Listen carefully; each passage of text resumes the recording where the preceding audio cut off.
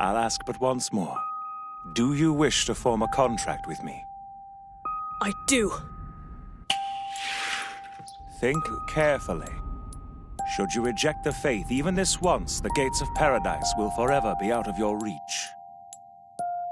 Do you think one who was among the faithful would ever go so far as to summon someone like you? I'm afraid once something is truly lost, sir, that one can never get it back again.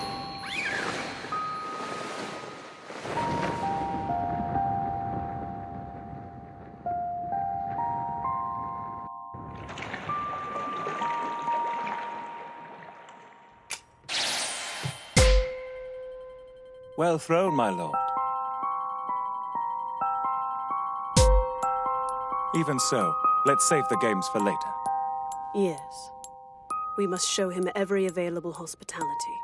The Phantom family is known for its courtesy. Yes, my young lord.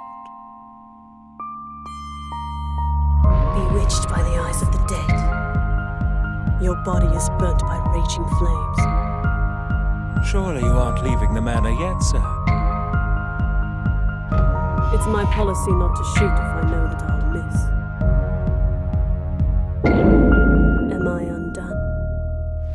What an impatient guest we have. You couldn't even restrain yourself until dessert was out of the oven. What an unattractive scream. He sounds almost like a pig taken off to slaughter.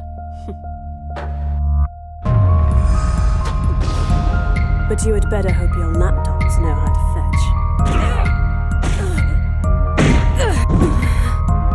Woof. Are you good for nothing but getting yourself captured? How much longer are you planning to play dead? I am Ciel Phantomhive. It's checkmate.